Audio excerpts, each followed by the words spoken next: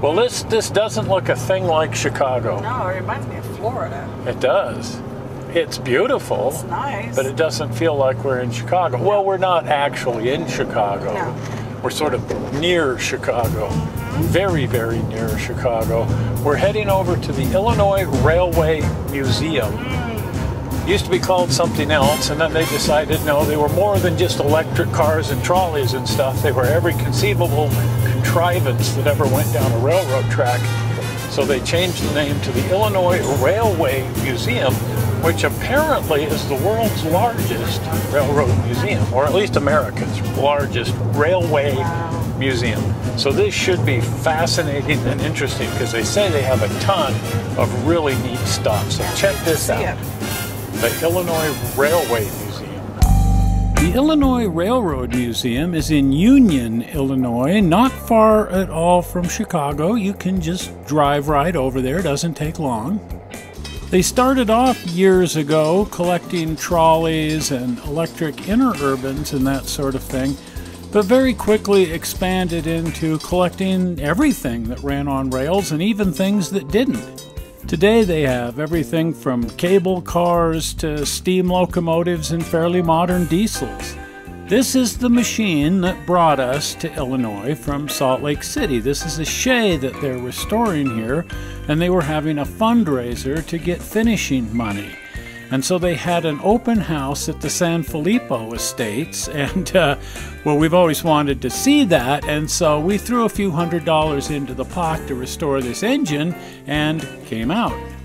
This is what you call your win win situation. The locomotive's going to get restored, and we had a grand, grand time screwing around. Enough money was raised that the locomotive will be running again here in just a few months. The museum has a large loop of track, but they've also been working on rebuilding a main line, and they now have several miles of mainline trackage extending out of the museum area. And as they have dozens and dozens of pieces of operational equipment, this means they can be running both the loop and the main line on the weekends. The actual museum area is positively massive. Look at the size of this yard that they have. But most of their equipment is actually kept indoors. They have something like a dozen really large buildings that they've built to house all of their locomotives and passenger cars inside out of the weather. You can see a couple of their smaller storage buildings here in the distance. As a Western Railroad fanatic, I'm not used to seeing flatland like this. I'm used to trains winding their way up a cliff face or something like that. But it was really fun to take a train at a reasonably high rate of speed out through the cornfields for miles and miles. We had a ball. And is typical of railroad museums everywhere we have ever been, the people there are just absolutely fun and fascinating and informative and just a gas to hang around with. There was a time in America where it seemed like every train that was moving was either coming from or going to Chicago, and so this truly, truly is a massive railroad hub. We've certainly heard about all of these eastern roads and are familiar with these road names, but it was great to see them actually painted on equipment and equipment that runs too. Okay, let's get down to business. Let's start exploring all of these buildings that house the equipment. This building houses private cars and some other passenger cars. Check this out Nevada Northern Business Observation Car number 10. This is one elegant, elegant private business car, and it was built by one of my favorite railroads, the Nevada Northern. In the 19th and early 20th centuries, these business cars were, well, the rough equivalent of a private corporate jet.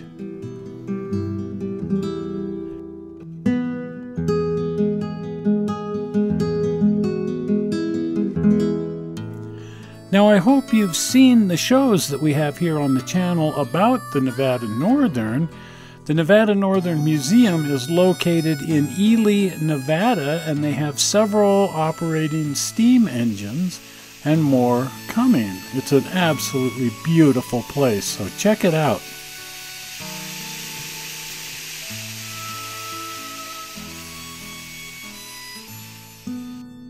Number 10 is just one of the really beautiful business cars that they have stored here in the building. All of these business cars are just incredible. But they also have some really, really elegant chair cars.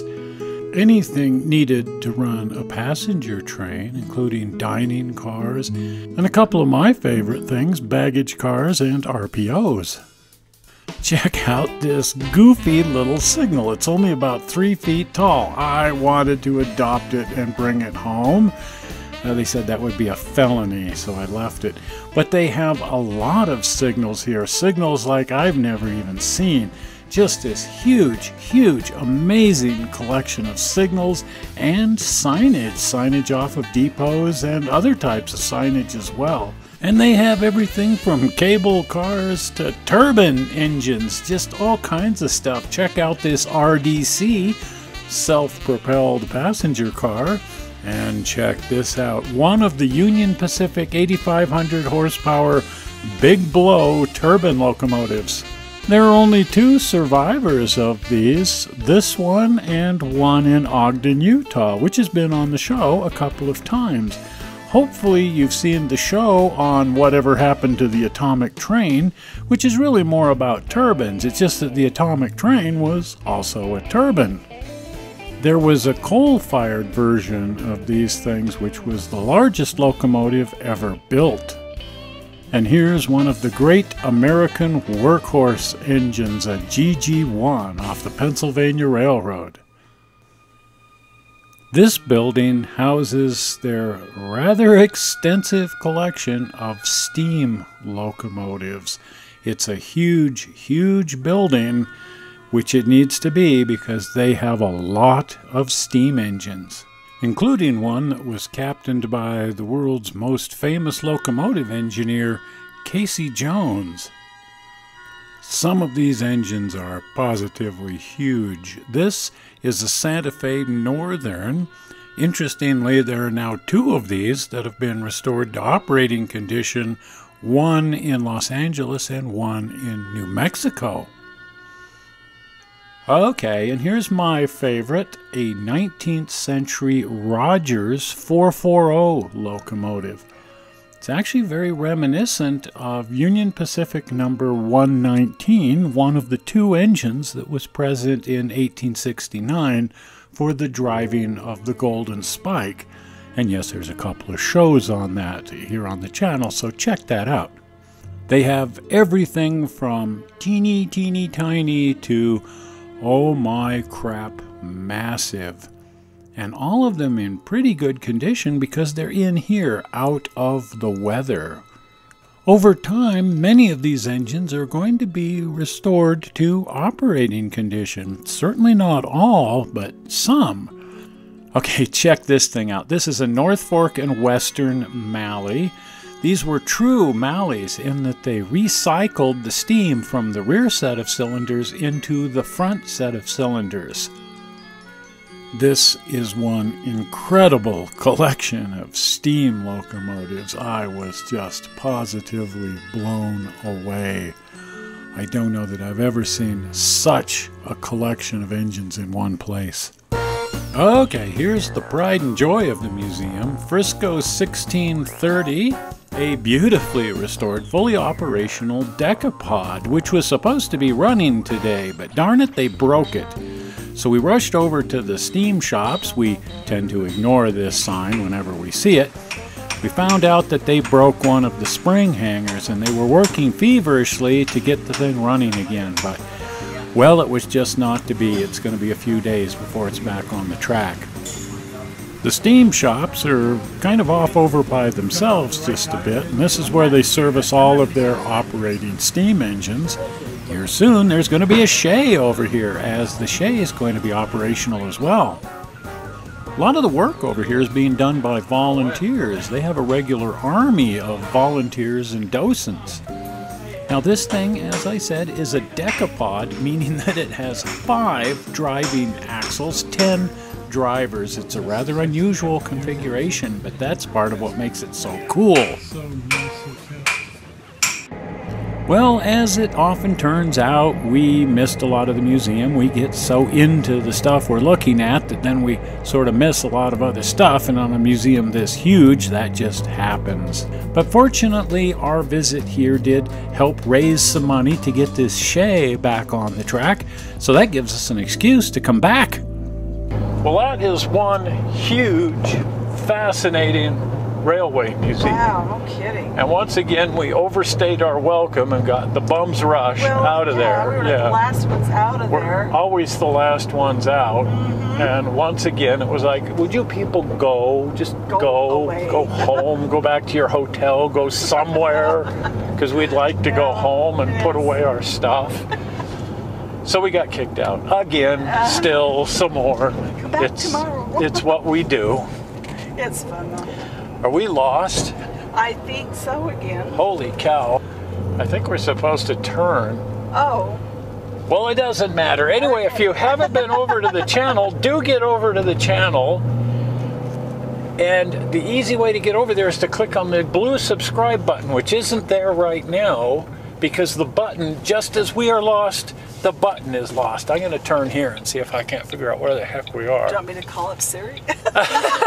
Oh, oh, we- Siri. I hate to have to always rely on Siri, but I think, oh, Oh, I quite enjoy you arguing with her, but anyway. it's a dead end. Uh, Oh, that's not No, this isn't where we wanted to go. No. Okay. Wow. Anyway, if you haven't subscribed, do subscribe, and you can do that by clicking on the blue button, which will be appearing as soon as I make a U-turn in this parking lot and get back on where we're supposed to be actually headed, I hope.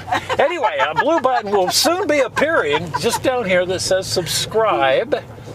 And you can click on that, it'll take you to the channel and make you a subscriber. And notice, doing!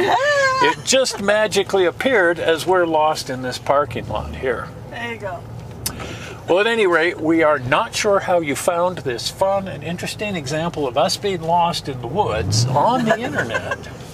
We hope you didn't find it boring, and we will see you here again in one week with some more massive screwing around. See you then. Bye bye.